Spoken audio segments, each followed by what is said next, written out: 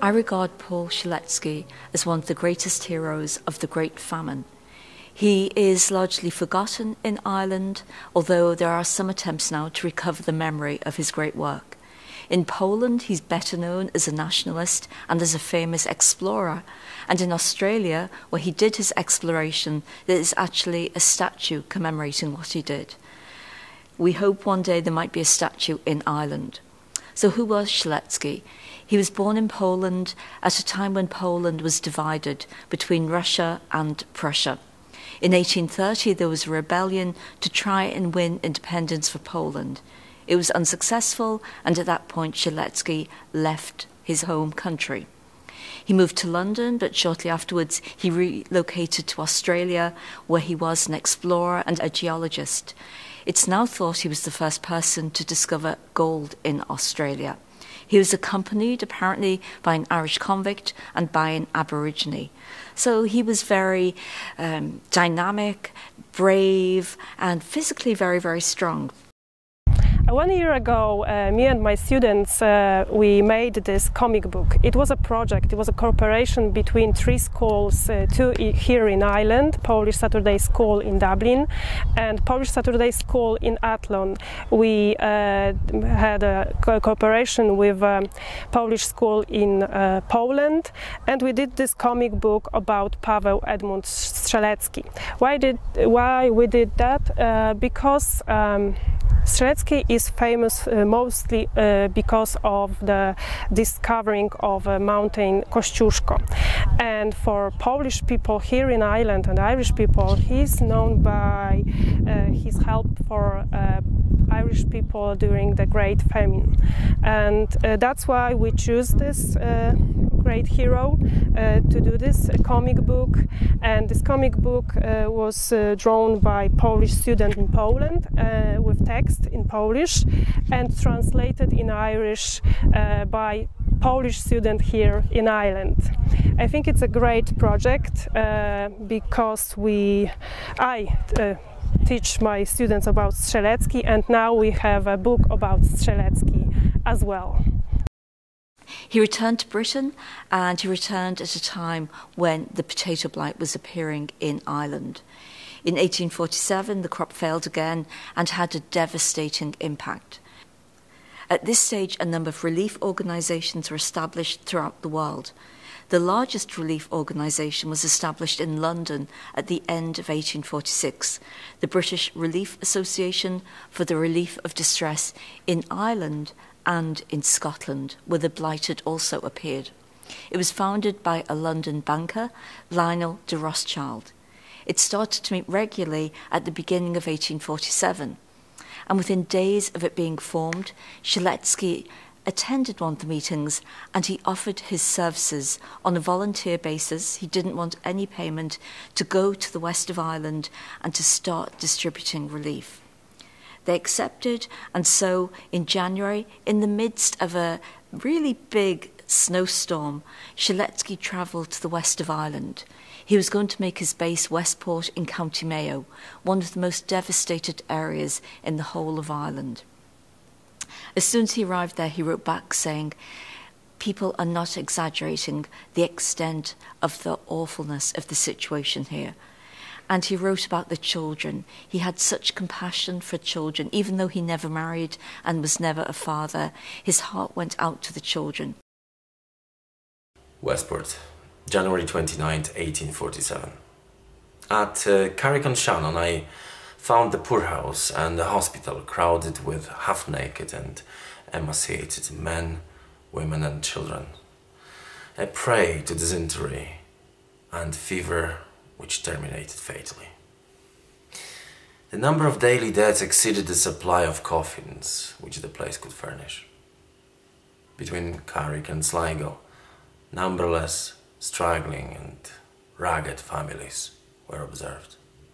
Some crawling, some squatted on the roadside, through utter exhaustion, all bearing downcast, broken, and worn out countenances fearful results of starvation, sickness, and exposure to the inclemency of the weather, which alternated with rain and snow.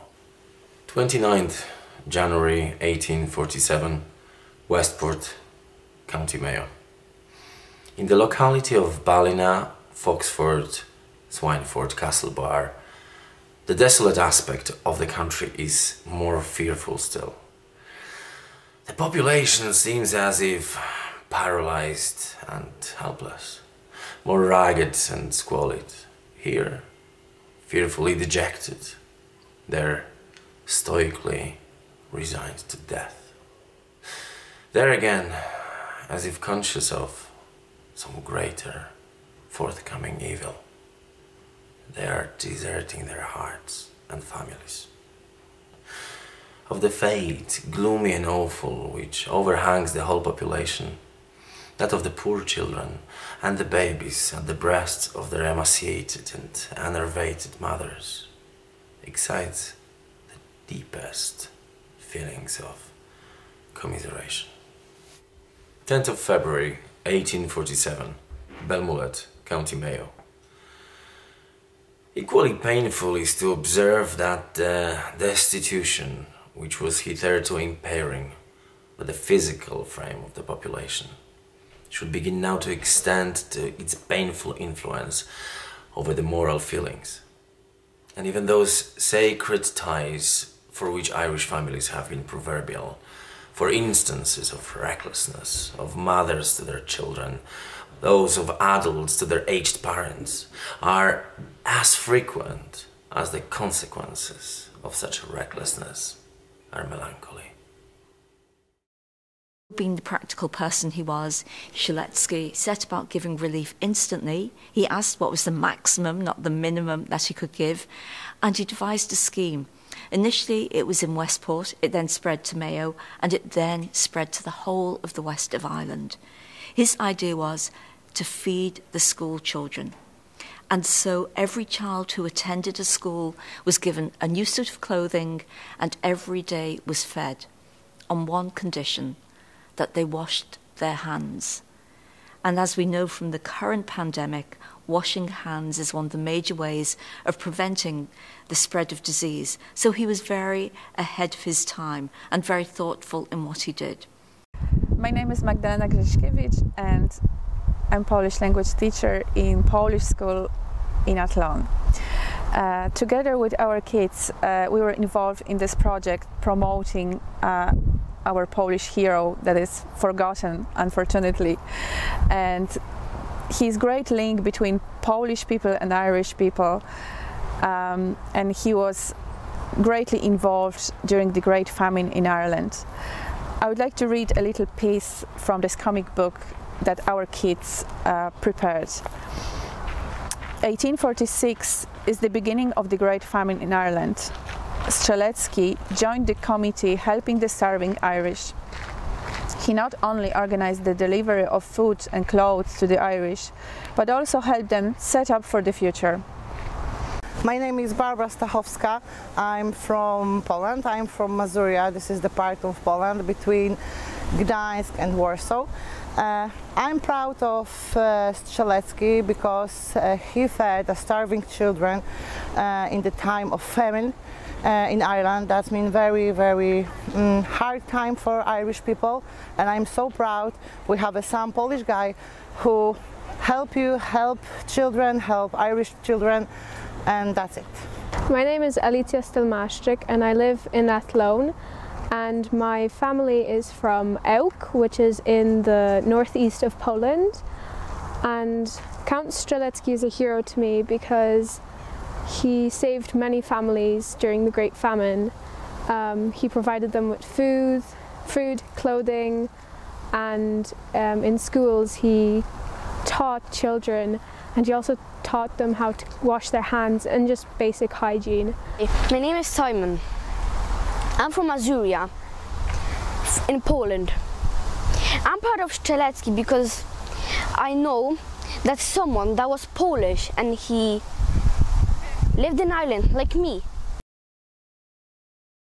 Westport, March 15th, 1847. No pen can describe the distress by which I am surrounded. It has actually reached such a degree of lamentable extreme that it becomes above the power of exaggeration and misapprehension.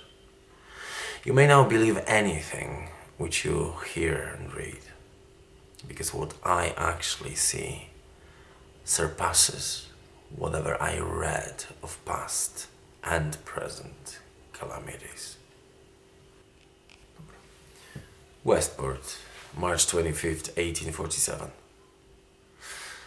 I'm sorry to report to you that uh, during the last week the distress has become more pressing upon the people, and that melancholy cases of deaths occurring on public roads and in the streets are more frequent.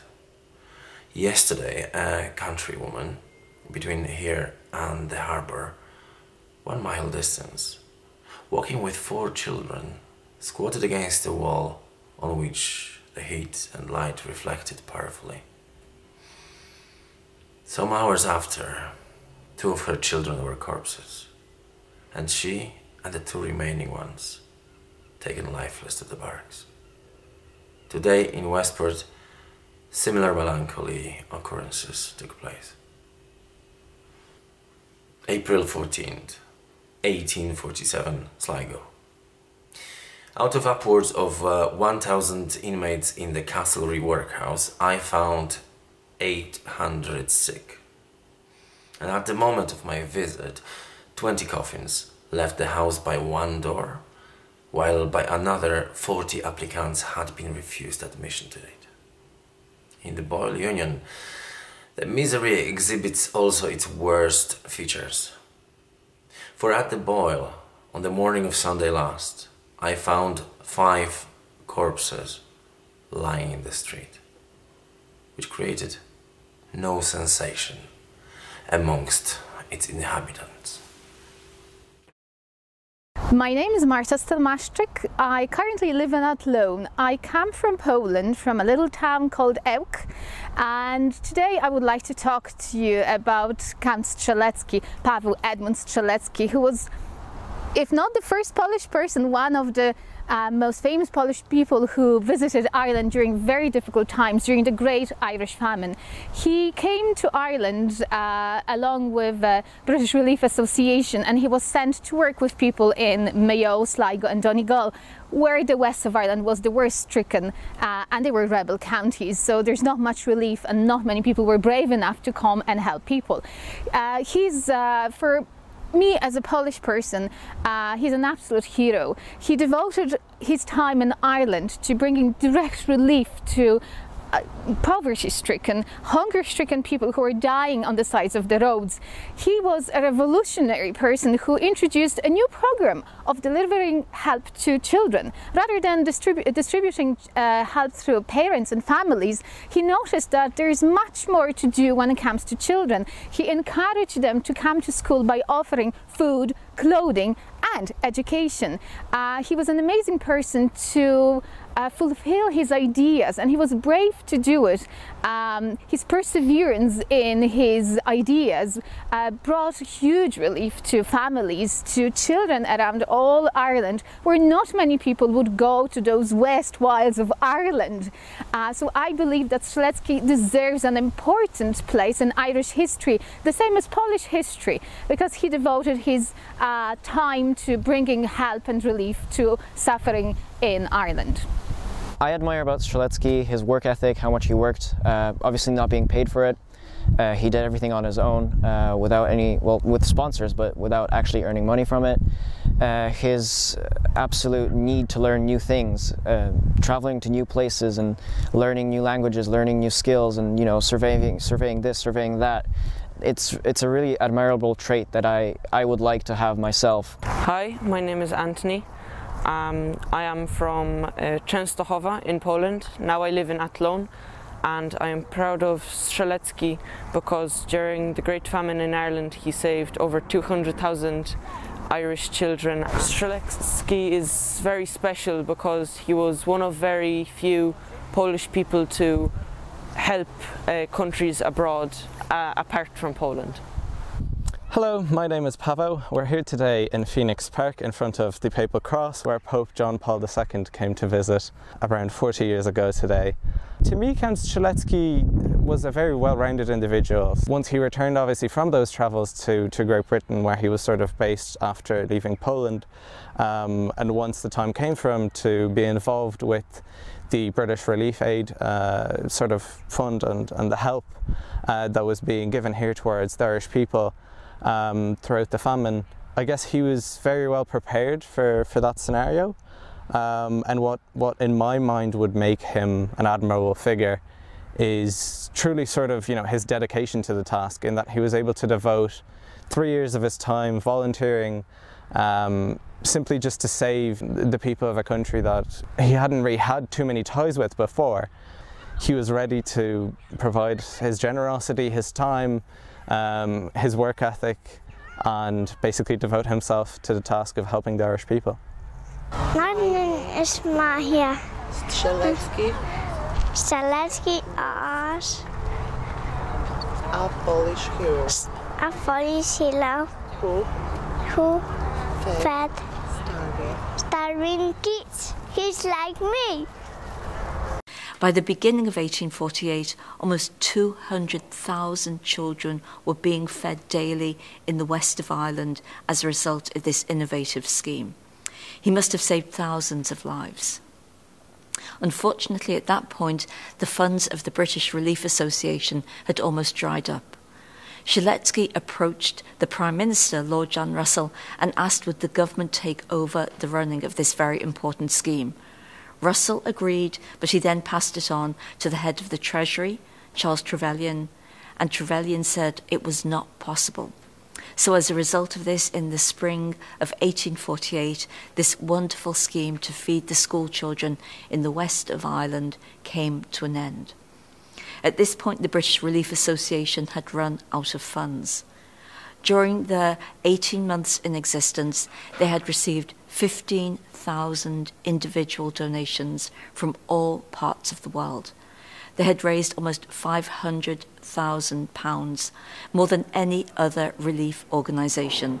And again, through their distribution, their prompt, innovative distribution of that money, they saved thousands of lives in the west of Ireland.